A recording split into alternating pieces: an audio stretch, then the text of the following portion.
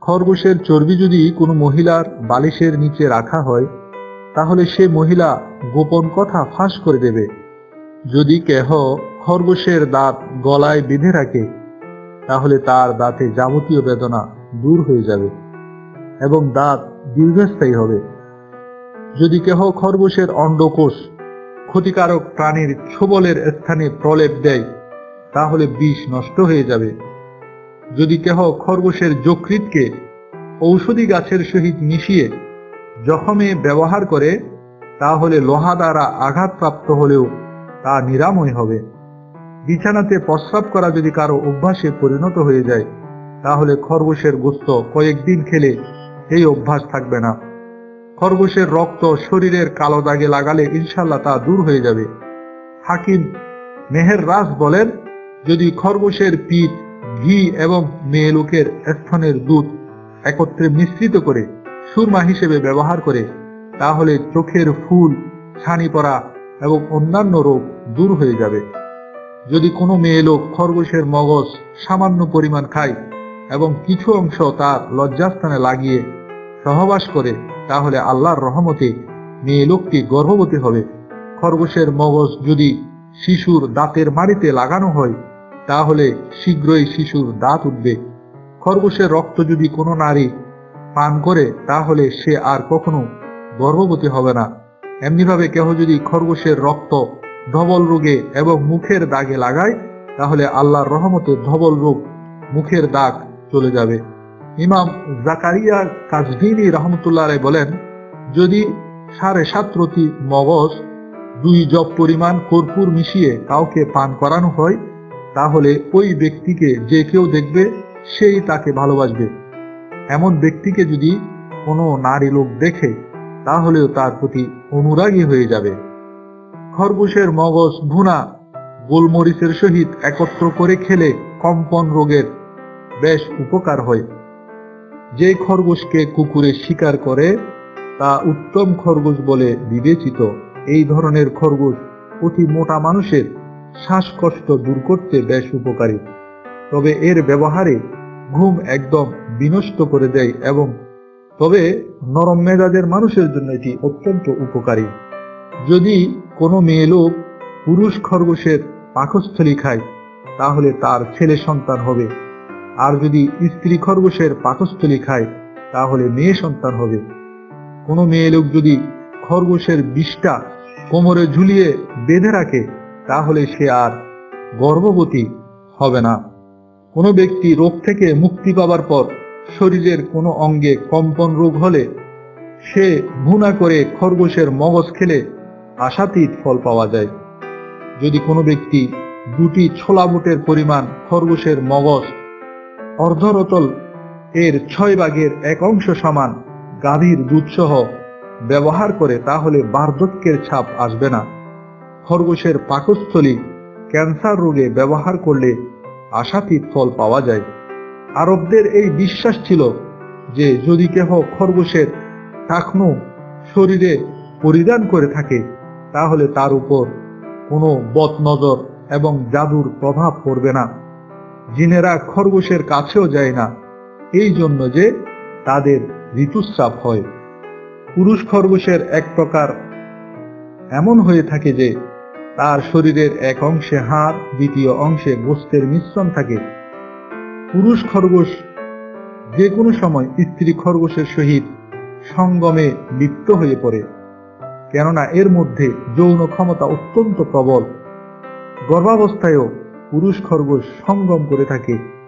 এই প্রাণীটির মধ্যে আশ্চর্য বিষয় হল, সে এক বছর পুরুষ থাকে, দ্বিতীয় বছর নারীতে রূপান্তর হয়ে যায়। ইবনে আসির ছয়শো তেরো হিজরি সনের ঘটনা সমূহের মধ্যে এই কথা উল্লেখ করেছেন যে, আমার এক বন্ধু খরগোশ শিকার করে, যখন তিনি খরগোশের প্রতি মনোযোগ সহকারে দেখতেছিলেন, তখন বুঝতে পারলেন যে এর আলাদা আলাদা বিশিষ্ট অঙ্গ আছে, অর্থাৎ লজ্জাস্থান আলাদা আলাদা রয়েছে। খরগোশের বৈশিষ্ট্য হল, সে চোখ খোলা রেখেই ঘুমায়। শিকারী এসে যখন দেখে তার চোখ খোলা তখন সে বুঝতে পারে যে সে জেগে আছে। আরবগণ খরগোশদের ব্যাপারে এই মতামত পেশ করেন যে খরগোশের ঋতুস্রাব হওয়ার কারণে জিনেরা এদের কাছ থেকে দূরে থাকে। চার প্রকার প্রাণী এমন আছে যাদের ঋতুস্রাব হয়, যেমন নারী লোক, দ্বিতীয়ত গন্ডার তৃতীয়ত বাদুর, চতুর্থত খরগোশ। সমস্ত ওলামাই গ্রামের ঐক্যমতে খরগোশের গুস্ত হালাল।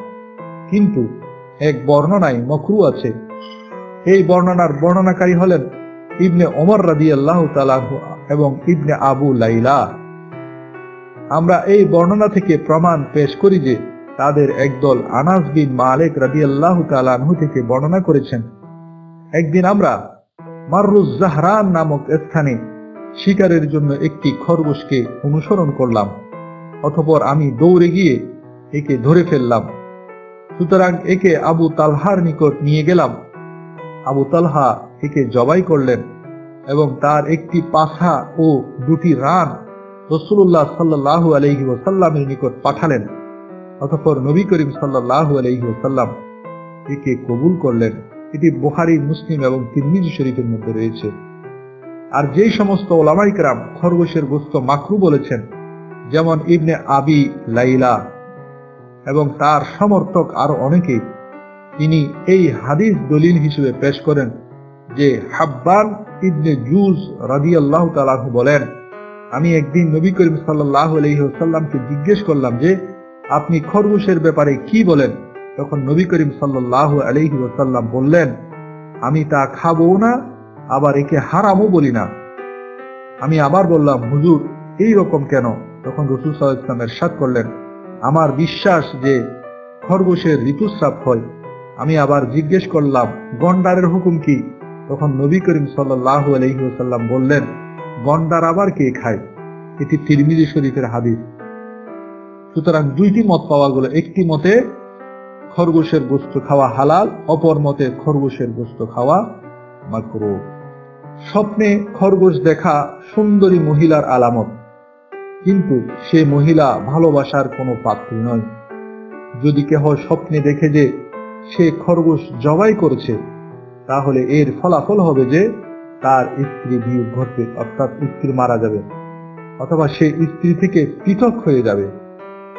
স্বপ্নে কেহ দেখলেন যে সে রান্না করা খরগোশের গোস্ত খেয়েছে, তাহলে এর ব্যাখ্যা হবে যে এমন স্থান থেকে তার রিজিক আসবে যেখানে তার নাম নিশানা পর্যন্ত নাই। কেহ স্বপ্ন দেখল যে সে খরগোশ শিকার করেছে, অথবা কেহ তাকে খরগোশ উপহার দিয়েছে, অথবা সে খরগোশ ক্রয় করেছে। তাহলে ব্যাখ্যা হবে যে সে প্রচুর পরিমাণে রিজিক পাবে, কিন্তু স্বপ্ন দর্শক যদি অবিবাহিত হয়, তাহলে সত্তরই সে বিয়ে হবে, বিয়ে করবে। আর যদি সে বিবাহিত হয়, তাহলে সে সন্তান লাভ করবে। অথবা তার বিরোধী শক্তির উপর সে বিজয়ী হবে এই তথ্যসমূহ আমরা হায়াতুল হাইওয়ান নামক কিতাবের প্রথম খণ্ড যে কিতাবখানা আল্লামা কামাল উদ্দিন দামেরি রহমতুল্লাহ আলাই লিখেছেন ওই কিতাবের প্রথম খণ্ডের মধ্যে খরগোশ সংক্রান্ত এই তথ্যসমূহ আমরা পেয়ে থাকি والله أعلم ورسوله أعلم عز وجل وصلى الله تعالى عليه وآله وسلم